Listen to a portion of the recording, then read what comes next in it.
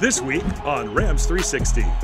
It is a Rams game day in Inglewood. My mindset right now is I can't fail. I'm setting an example that, hey, guys like me that look like me can do this job. Guys on the cleat. Guys on the cleat. This flex all that, you know, fast, like I said said in the beginning, you know, it's stylish. You all like to be, I like the style, so, you know. All this and more on Rams 360.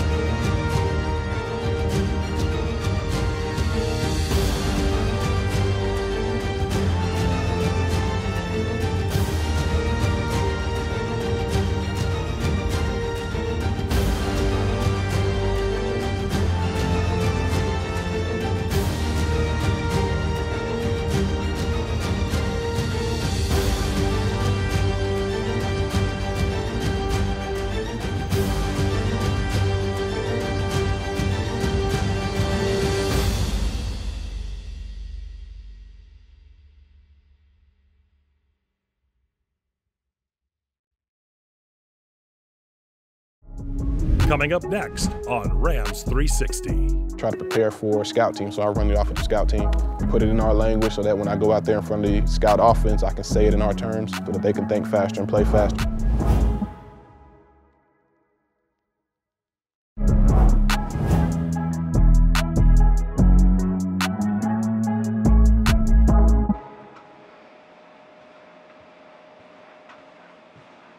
My name is KJ Black. I am the coaching fellow working with the offense and the quarterbacks. Here we go, here we go, here we go. First year here with the LA Rams. Job. Good. Good look right there. Good job with the cadence. Right hash, right hash, 11 11. Right hash, 11 11. I kind of heard it from a friend that he said, hey, you know, you should apply for this Bill Walsh deal. I'm doing it. You should do it too. So I really applied, not expecting much of it, just doing it just to, you know, say that I did it. I got a call from, you know, Thomas Brown, and we kind of had a, a, short interview. He was like, man, he said, you're exactly what I'm looking for. He said, man, I, I want you to come do this internship during training camp and uh, get a chance to put you in the quarterback room and let you learn from, you know, Sean and, and uh, at the time, Kevin O'Connell, who's the head coach now in Minnesota, and be in that room and just learn regardless of the situation, you always want to be put in a position to be successful that can ultimately lead to being a coordinator, being a head coach at any level, whether that's in the National Football League, you make a decision to go to different levels of play. And I think that that's the most important thing is placing guys in opportunities to be able to grow, both in an entry level position, but also to be able to be in some of those leadership roles. But it's the pathway, all right, to get to that point I think is important. My mindset right now is I can't fail. This is really the first year they've used that coaching fellow, right? So I can't, I can't fail because I'm setting an example that hey, guys like me that look like me can do this job and can be a strong candidate to be a part of somebody's coaching staff going forward. Do a rap, you're gonna kick here, and 89's gonna rap. So for me specifically, I'm the drawer. So the staff will come up with the plays that they think will be successful, specifically in the passing game. So early on in the week, I'm doing self-scout stuff. So I'll be tagging the game from the previous week. I'll be making cut-ups, making sure that those are available if somebody needs to go back and look at some previous game uh, cut-ups. Mondays and Tuesdays is all about self-scout and trying to get ahead from an opponent breakdown standpoint. Then I usually get the plays Tuesday night on a good week, maybe Wednesday morning, and they got to be ready to go you know, within a few hours.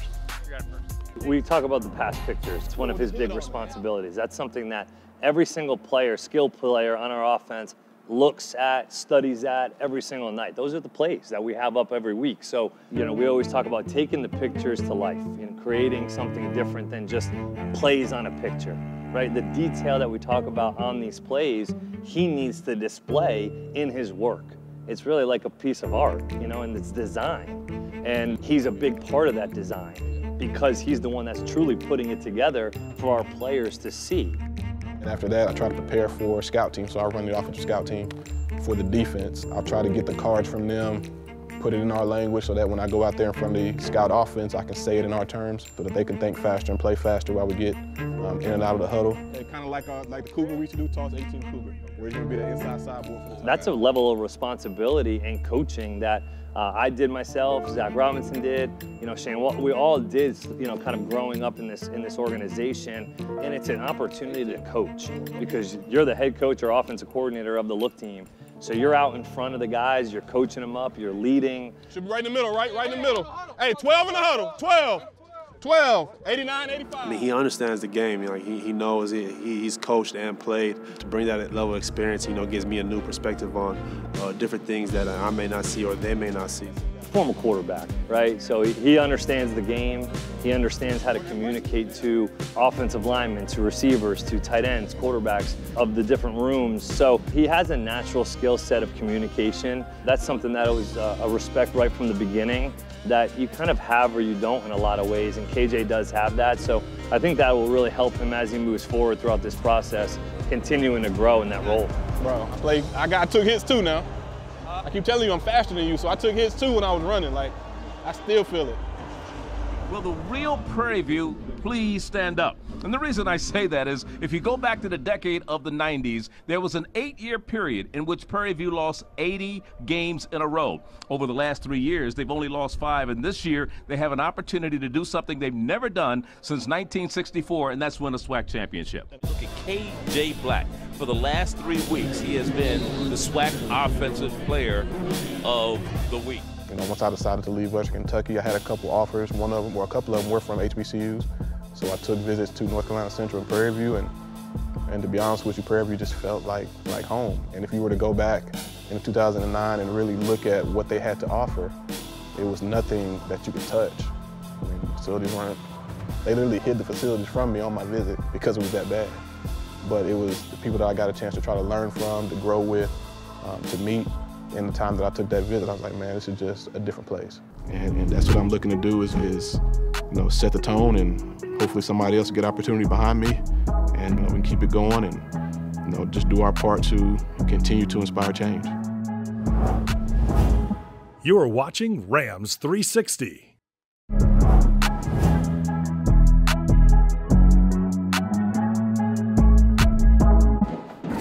The biggest reason has probably been the play of their quarterback. KJ Black took over in the second half of the second game and has been undefeated as a starter ever since. If they're going to win this championship today, he's going to have to be a big part. Took a chance on a place that didn't have a lot to offer, that had a bad tradition if you really look it up, um, but ended up being one of the best decisions I ever made in my life. I just felt like they were a quarterback away. And hopefully I could go and, and, and contribute and, and, be a part of, of something great, something that will last forever, you know, and we did it. and there goes Favors down the sideline. He's in there, 49 yards. Back away, Wakeman to the end zone, wide open touchdown.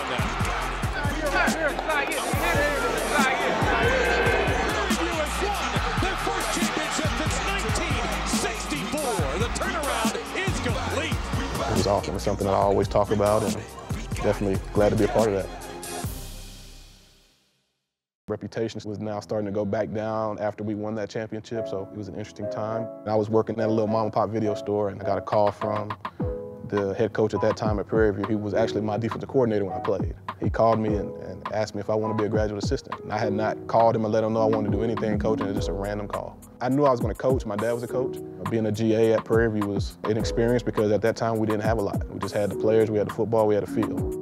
I was blessed to get an opportunity to become an assistant coach my two years as, as a GA. Uh, Willie Simmons was the new head coach, hired me on the spot. And then after the three years, Willie Simmons left and went to Florida A&M. I didn't go with him initially, but the second year I went, and that was 2019. And I was his quarterback coach the first year and then co-offensive coordinator the last two. Okay, you should be watching the game. You should know what's going on. Even the test will be on Just Play by Friday morning.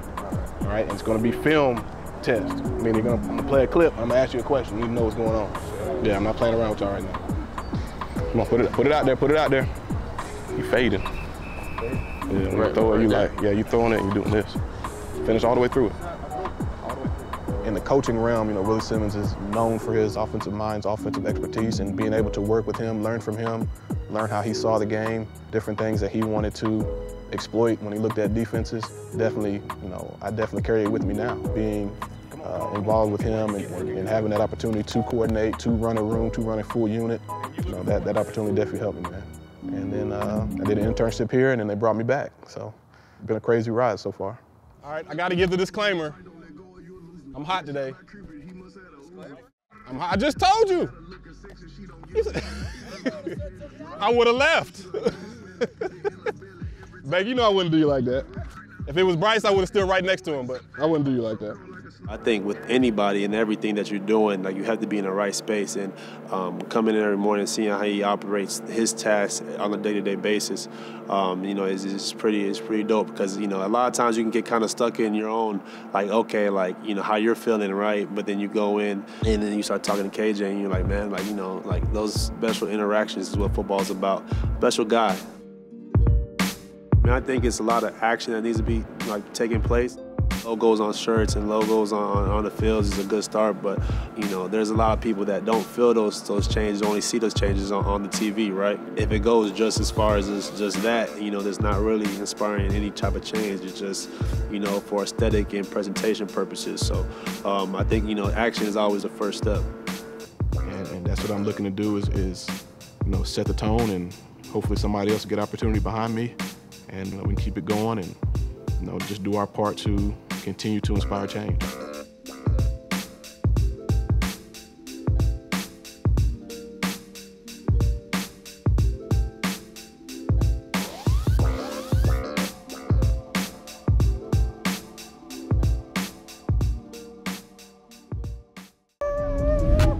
Coming up next on Rams 360. Turbo 2 2. What you say, Turbo 2 2? Here we go. Play fast, physical, and aggressive. Make him finish play. Love you, 2 2.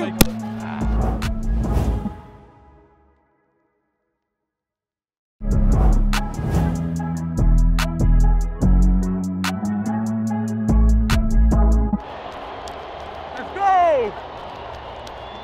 I'm mic'd up. Yeah! Yeah! Big boy mic'd up today. Little man mic'd up? Little man, big man, boy. They even made you a small mic? Yeah. Drop it in. Mount it. Turbo 2 2. Got him on the cleat. Hey, hey. Got him on the cleat. Woo! I got him on the cleat today.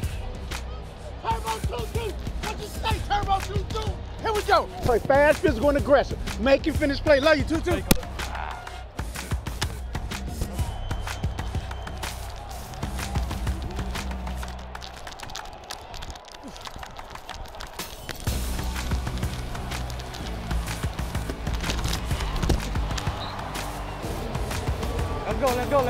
Go, let's go, let's go, let's go. Handoff, Malcolm Brown. Huge crease, untouched. Malcolm Brown! First touchdown of week 17. Let's go! Let's go! Let's go!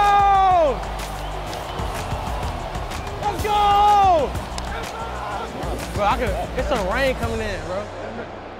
I think it's raining outside.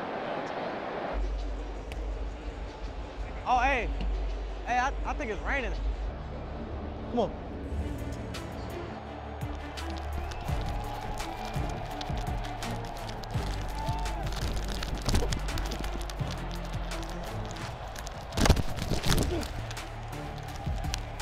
Has it. Play Finn sets up the throw, can't find a target, rolls to his right. He's all alone. Now he wings one downfield, and it is caught by Van Jefferson. Let's go! Let's go! Let's go! Don't stop playing with you.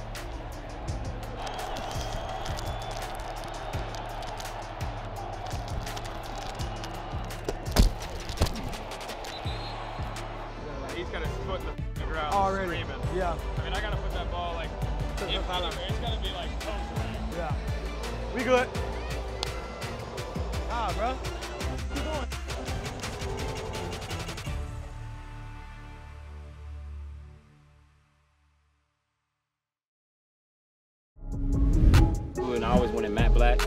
And so, um, you know, I went to my guy Tate in Florida, and he wrapped it for me. And uh, he just thought it'd be a good idea to put red trim on it. So, you know, I went with it. So, you know, I love it. Stay tuned for more Rams 360.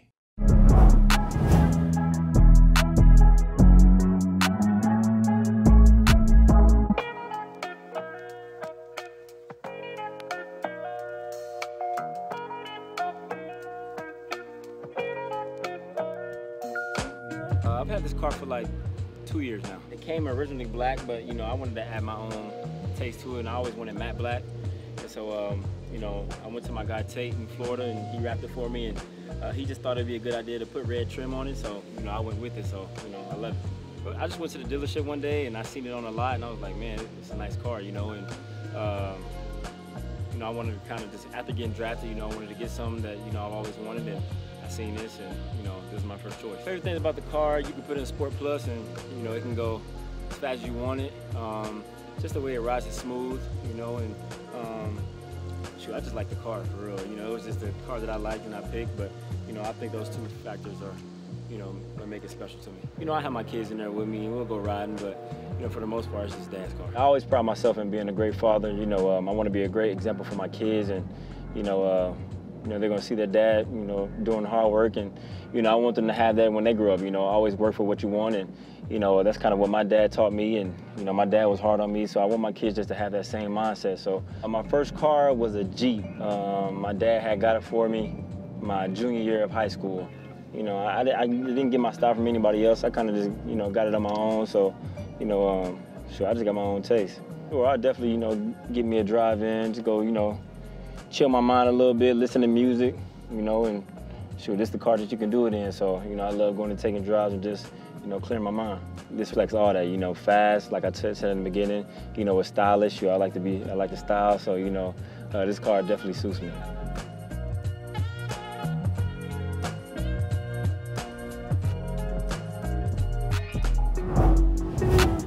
Thanks for watching, and be sure to tune in next week for more Rams 360.